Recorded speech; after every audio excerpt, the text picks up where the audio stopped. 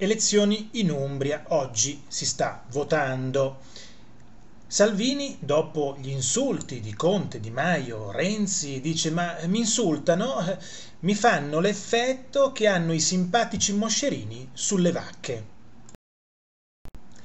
E aggiunge questa manovra economica fra tassa sulle bibite, tassa sulla plastica che diventa sui consumatori, tassa, tassa, tassa, non avevate detto che andavate al governo per tagliare le tasse. L'unica vostra ossessione sono la Lega e Salvini. E poi, dopo aver paragonato il, il governo a dei moscerini, simpatici moscerini sulle vacche, eh, risponde anche al Presidente del Consiglio, dice oggi è andato a prendere in giro gli artigiani, ma molti gli hanno fatto capire che non si fanno prendere in giro.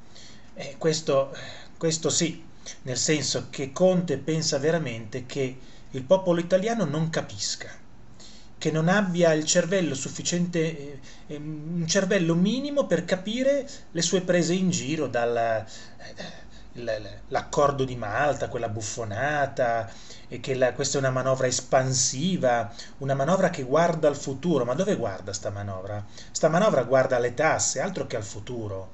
Non guarda nessun futuro poi parla del, del sindaco Roma, di Roma, Virginia Raggi, dice è una sciagura, una calamità fatta persona.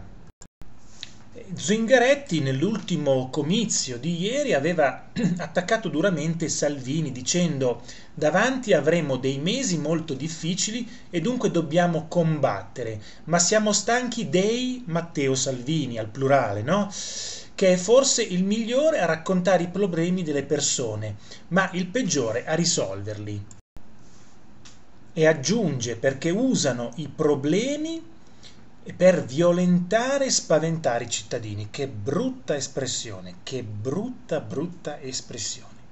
E poi aggiunge, con le stupidaggini, con le cretinate, le tasse sulle casette di sicurezza, cassette di sicurezza, la flat tax, le, le, le mangiate che si è fatto sono costate agli italiani.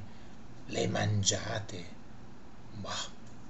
Incomprensibile, eh? Ed è bastato che lui se ne andasse per far scendere lo spread. Siamo passati dalla raccolta del consenso dell'ubriacone del papete all'abolizione del super ticket della sanità. Il consenso dell'ubriacone del papete. Che, eh, che meschino, mamma mia. L'ubriacone del papete prima di tutto Salvini non è un ubriacone e poi è stato in questa spiaggia, visto che era lì a Milano Marittima, è andato lì e c'era una festa sulla spiaggia come ce ne sono dappertutto, no? Voi passate sulla spiaggia, a volte ci sono delle, delle feste dove ballano, dove c'è il bar dove ti puoi prendere un drink e guardare la gente che si diverte, divertirti anche tu. Quindi parlare dell'ubriacone del papete è una menzogna, una cattiveria senza senza nessuna, senza nessuna logica. Poi, attenzione riguardo lo spread. Lo spread è sceso anche, dico anche, non solo perché è cambiato il governo, perché, perché l'Europa era litigiosa col governo precedente, quindi con questo, però è sceso perché le, lo spread, che cos'è? La differenza tra gli interessi che si pagano sui, sui eh, sui bot tedeschi che si chiamano bond e, la, e gli interessi che si pagano sui bot italiani. Interessi tedeschi e interessi italiani. La differenza tra i due interessi è il nostro spread. Cosa succede? Che quando l'economia tedesca va bene, come qualunque economia, va forte, lo spread si riduce perché le persone hanno fiducia e più persone comprano i titoli di Stato tedeschi. Comprando più persone è la legge della domanda e dell'offerta. La Germania propone questo numero di buoni ordinari del tesoro che chiamano bond. Se le persone che vogliono comprarle sono molte, molte di più della offerta perché si fidano della Germania che l'economia va bene, il prezzo, cioè la Germania paga un interesse più basso. No? Se l'economia della Germania va male, cosa succede? Che la Germania offre un certo numero di titoli di Stato, però ci sono meno persone che preferiscono comprare i titoli di Stato tedeschi perché la loro economia sta andando male e preferiscono comprarli di un altro paese. Quindi la Germania offre il suo numero di titoli di Stato e ci sono meno persone che comprano, quindi offerta meno persone che comprano per invogliare la Germania a comprare i suoi titoli di Stato deve alzare l'interesse. Quindi alzando l'interesse de, del, dei titoli di Stato tedeschi si avvicina di più a quello dei titoli di Stato italiani e diminuisce lo spread. Questo è anche come lo spiego ai miei alunni all'università. Intanto, tornando all'Umbria, tutto il governo si è presentato, eh, si è presentato al completo, no? C'era Speranza di Leo, c'era Di Maio 5 Stelle, Zingaretti del PD e c'era anche il mismissimo Giuseppe Conte, il presidente del Consiglio, che dice: Ma no, io non sono qua per le elezioni, no? Va in Umbria, che neanche si ricordava che esistesse quella regione, va in Umbria a due giorni dalle elezioni. No, non sono qua per le elezioni, sono qua per il terremoto. Ah sì? Questa è l'ennesima riprova che pensa che le persone siano stupide. C'è un tipo, eh, tutti voi conoscerete tra gli amici, tra i familiari, c'è un certo tipo di persone che pensa di essere più furba degli altri, che pensa di raccontare delle balle e che gli altri ci credano perché lui è, un, è una persona superiore che fa, gli altri sono tutti cretini, no? Quindi non era lì per le elezioni, era lì per il terremoto, ma pensa un po', ma pensa un po' però mi ha fatto ridere uno, un titolo del giornale.it che dice così il titolo. 5 Stelle e PD patto di Narni con una sola strategia schiantarsi tutti insieme. Mi ha fatto ridere perché c'è la foto di, eh, di Speranza, Zingaretti, il loro candidato presidente eh, alla, alla, regione, Di Maio e Conte, no? tutti insieme, no?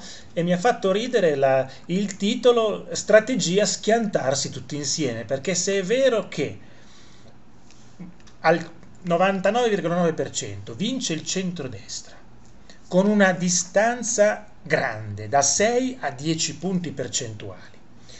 Recuperare da 6 a 10 punti percentuali è tantissimo, difficilissimo riuscire a far cambiare l'opinione al 10%, al 6%. Un conto se erano uh, testa a testa, ma questa non è regione da testa a testa.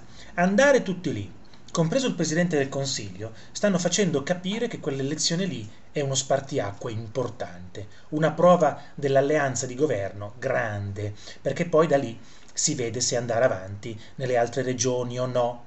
Quindi andare lì tutti assieme sembra, come dice il titolo del giornale.it, strategia schiantarsi tutti insieme. Fantastica questa definizione.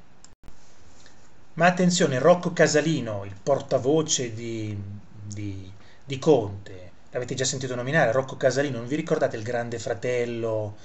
Eh, adesso non mi ricordo che nomignio gli avevano dato, ma non importa Rocco Casalino, ex grande fratello, ora politico, portavoce del Presidente del Consiglio, che guadagna una valanga di soldi, bien, bene per lui, sei riuscito, sei una persona di quelle furbe perché sei riuscito dal grande fratello un po' di televisione, sei adesso portavoce del Presidente del Consiglio. Complimenti. No, sinceramente, sinceramente complimenti per, per essere riuscito ad arrivare lì andava in giro ieri dicendo, a spiegare ai giornalisti che siamo certi di vincere grazie a Conte e al suo tocco magico.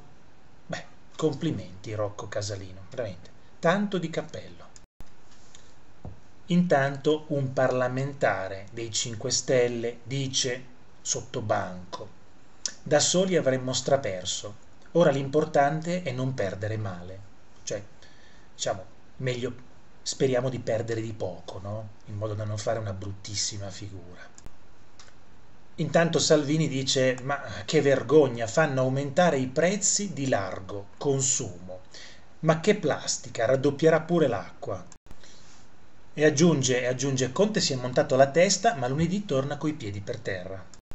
E poi aggiunge, a proposito di tasse in manovra, Solo quella sulla plastica farà aumentare del 10% i prodotti di largo consumo. Significa per esempio pagare almeno il doppio l'acqua minerale. Mica il caviale. Governo bugiardo. È questo l'aumento selettivo? Quello sull'acqua, la verdura e i biscotti? Vergogna. e non perde l'occasione per ironizzare sulla manifestazione del PD a 5 Stelle. A sentire Di Maio e Zingaretti sono in 20, si erano presentate pochissime persone. E sulle manette agli evasori dice ma non riusciamo a mettere in galera gli spacciatori e andiamo a rompere le palle ai panettieri, ai parrucchieri, agli idraulici. Attenzione, quello che dice sull'acqua è vero, con la tassa sulla plastica andremo a pagare la bottiglia d'acqua, sapete la confezione da 6? Di più, 10% in più. Quanto costa la confezione da 6 di acqua? Metteteci il 10% in più. Praticamente è come se compraste mezza bottiglia in meno, che va in tasse. Bene, questa era la manovra che guardava al futuro o sta guardando all'acqua minerale? Che pagheremo di più, tanto per cominciare.